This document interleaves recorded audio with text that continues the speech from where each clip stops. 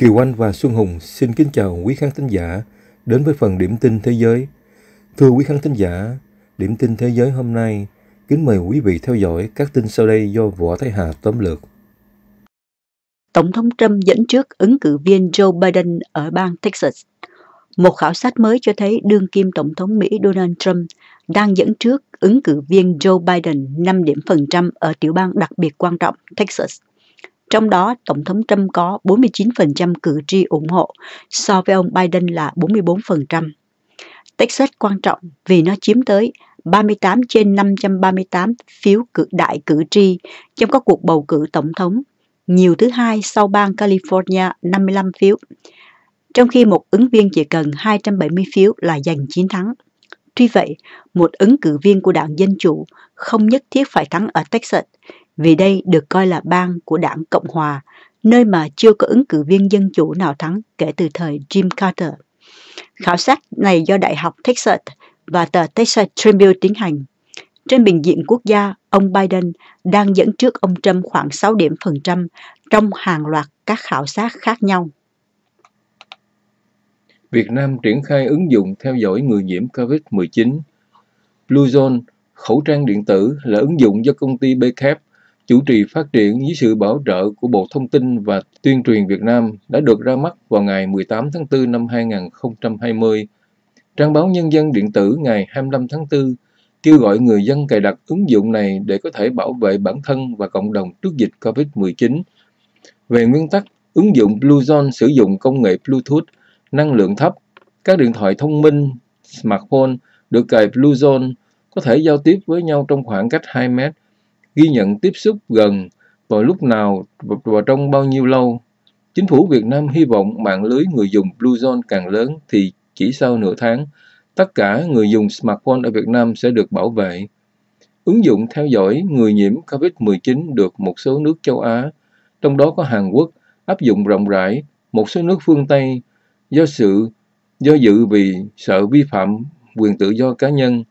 Tuy nhiên, chính phủ Việt Nam khẳng định ứng dụng Bluezone bảo mật về dữ liệu ẩn danh, không thu thập dữ liệu về vị trí của người dùng và đảm bảo minh bạch.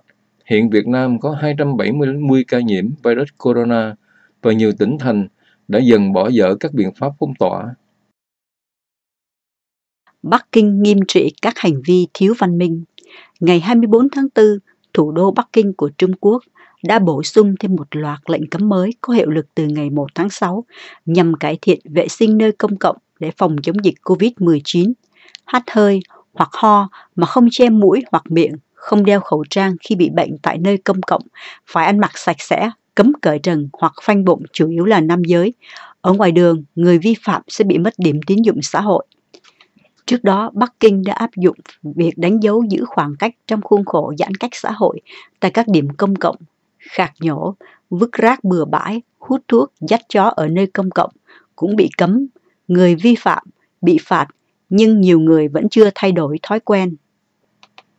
Quân đội Triều Tiên sẽ quyết định người kế nhiệm Kim Jong-un nếu nhà độc tài qua đời. Trong trường hợp xấu nhất Kim Jong-un qua đời, sẽ có một khoảng trống quyền lực và quân đội sẽ sẵn sàng chiếm vị thế trên chính trường. Theo giáo sư ngoại giao quốc tế từ Đại học aramis Úc, Joseph Shikakusa, trong trao đổi với kênh Sky News, ông ta không phải người duy nhất điều hành toàn bộ màn diễn. Ông ta luôn có sự móc ngoặt với quân đội. Do vậy, nếu có điều đó xảy ra, quân đội sẽ có động thái can thiệp vào chính trường. Giáo sư Shirakusa nói, hiện nay, ông Kim có một người chị gái cũng mang dòng máu hoàng tộc. Cô ta có thể tạm thời bù vào khoảng trống, nhưng tôi nghĩ rằng trong một xã hội như Triều Tiên, không có phụ nữ nào ở ngôi cao, họ có lẽ sẽ không chấp nhận cô ta là người kế vị. Nhưng cô ấy có thể nắm quyền cho đến khi các con trai của ông Kim đủ tuổi kế vị. Tờ New York Times nói, Kim dường như có hai đứa, hai ba đứa con thì phải. Vị giáo sư nói tiếp. Thủ tướng Canada nói còn quá sớm để thảo luận hộ chiếu miễn dịch cho những người khỏi COVID-19.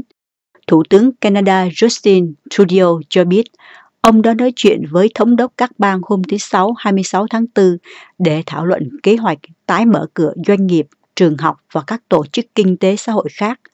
Trọng tâm của kế hoạch là ngăn chặn sự lây lan của virus, thông qua đảm bảo giãn cách xã hội và việc sử dụng thường xuyên đồ bảo hộ cá nhân. Khoa học chưa có kết luận chắc chắn một người từng mắc COVID-19 rồi khỏi có khả năng miễn dịch với nó vào lần kế hay không. Ông Turio trao đổi với các phóng viên. Đây là điều chúng ta cần có câu trả lời rõ ràng. Cho đến khi đó, chúng ta cần phải duy trì sự thận trọng. OU hòa hoãn trong báo cáo về chiến dịch tuyên truyền sai lệch Bắc Kinh. Bản báo cáo đầu tiên mà tờ South China Morning Post thu thập được có nội dung lên án Trung Quốc phát động một chiến dịch phát tán thông tin sai lệch toàn cầu nhằm đánh lạc hướng sự chỉ trích đối với nguyên nhân bùng phát đại dịch COVID-19 dựa trên cả hai chiến thuật công khai và ngấm ngầm. Nhưng tờ SCMP cho biết, phần nội dung này đã bị loại bỏ sau khi Bắc Kinh can thiệp và cảnh báo các nhà ngoại giao EU tại Trung Quốc sẽ có những hậu quả tiềm tàng.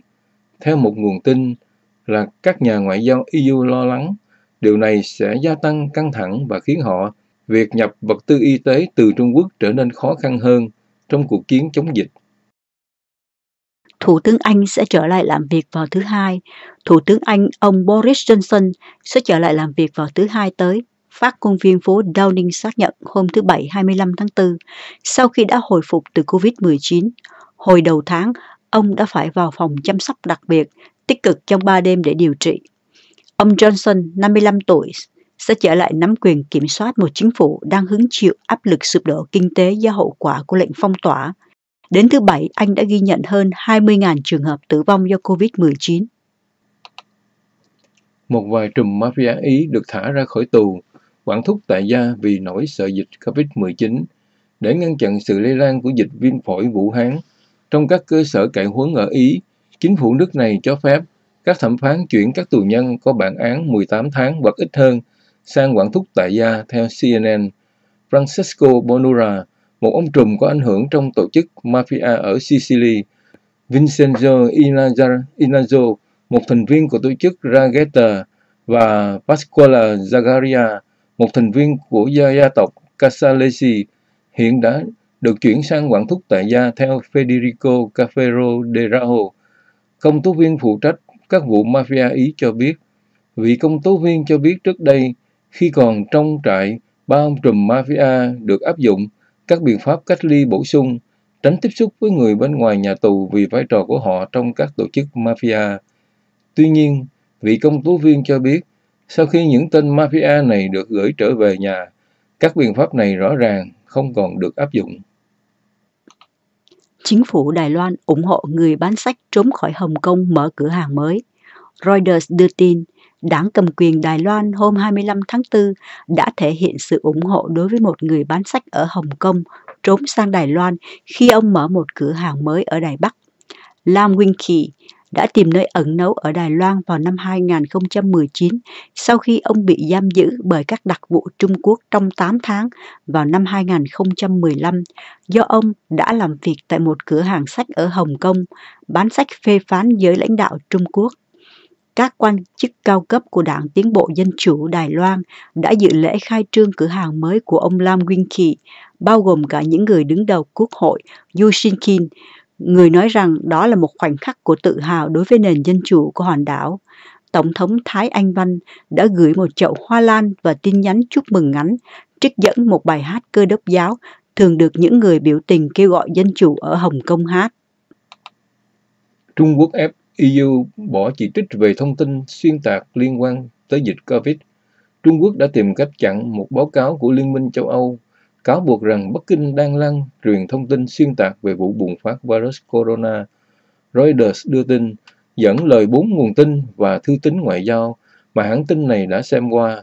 Báo cáo cuối cùng đã được công bố dù ngay trước khi bắt đầu thời điểm cuối tuần ở châu Âu, một số chỉ trích nhắm vào chính phủ Trung Quốc đã được sắp xếp lại hoặc gỡ bỏ trong một dấu hiệu cho thấy Brussels đang cố gắng giữ thăng bằng trong dịch vụ virus corona, làm xáo trộn các quan hệ quốc tế, Reuters cho biết. Bốn nguồn tin ngoại giao nói với Reuters rằng báo cáo ban đầu dự kiến công bố vào ngày 21 tháng 4, nhưng đã bị trì hoãn sau khi các quan chức Trung Quốc biết về một bản tin của Politico cho biết trước những kết luận của báo cáo. WHO người đã khỏi COVID-19 vẫn có thể tái mắc.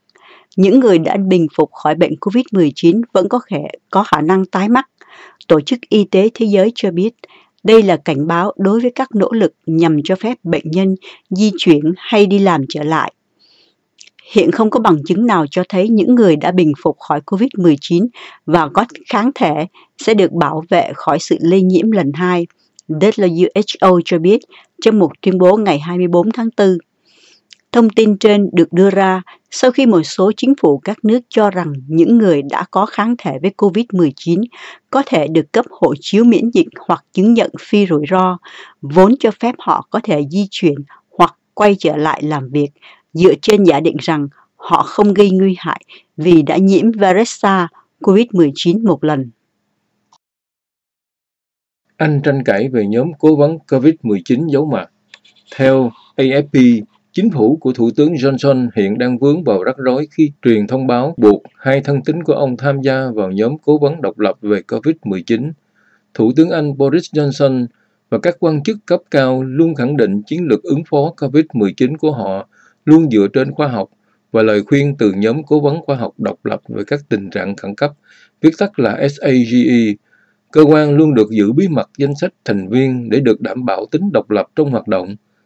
Tuy nhiên, tờ Guardian hôm 24 tháng 4 dẫn các tài liệu rò rỉ cáo buộc hai cố vấn cấp cao của Thủ tướng Johnson là Dominic Cummings và Ben Warner là hai trong số 23 thành viên tham dự một cuộc họp quan trọng của SAGE hôm 23 tháng 3 ngày Johnson thông báo lệnh phong tỏa của toàn quốc ngăn COVID-19. Thông tin này làm dấy lên hoài nghi rằng chính phủ Anh đang tìm cách tác động đến SAGE. Thụy Điển đóng cửa toàn bộ học viện khổng tử. Theo tờ The Times, ngày 21 tháng 4 đưa tin, Thụy Điển đã đóng cửa các lớp học cuối cùng của Viện Khổng Tử, trở thành quốc gia đầu tiên ở châu Âu chấm dứt các chương trình giáo dục văn hóa do nhà nước Trung Quốc tài trợ. Hai, năm 2005, Trung Quốc đã đặt Viện Khổng tử đầu tiên tại Đại học Stockholm ở Thụy Điển và là Viện Khổng tử đầu tiên ở châu Âu. Học viện này đã đóng cửa vào năm 2015. Vào tháng 12 năm ngoái, Thụy Điển đã đóng cửa toàn bộ bốn viện khổng tử ở nước này, chỉ giữ lại các lớp học của một viện khổng tử ở thành phố phía nam Falkenberg Tuy nhiên, lớp học cuối cùng này cũng đã bị đóng cửa vào tuần trước. Theo The Times, chính phủ Thụy Điển lo ngại về những nỗ lực tẩy não của Bắc Kinh đối với học sinh địa phương. Ông Bon Jordan, một người phụ trách các dự án châu Á của Viện Nghiên cứu các vấn đề quốc tế Thụy Điển bình luận rằng điều này cho thấy sự thay đổi trong thái độ của Thụy Điển đối với Trung Quốc. Từ năm 2004 chính phủ Trung Quốc đã thành lập nhiều viện khổng tử ở nhiều trường đại học ở nước ngoài.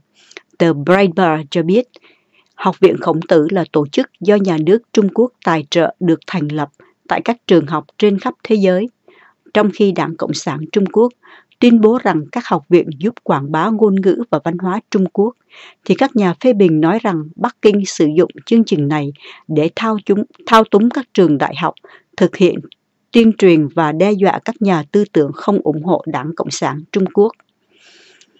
Theo The Economist, các quan chức cao cấp của Đảng Cộng sản Trung Quốc Lý Trường Xuân đã mô tả các viện khổng tử là một phần quan trọng của việc thiết lập tuyên truyền của Trung Quốc ở nước ngoài.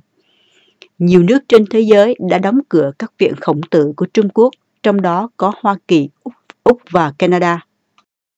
Xuân Hùng và Kiều Anh xin kính chào tạm biệt đến quý khán thính giả. Hẹn gặp lại quý vị vào tuần tới. Kính chúc quý vị, gia đình và người thân một ngày tốt đẹp.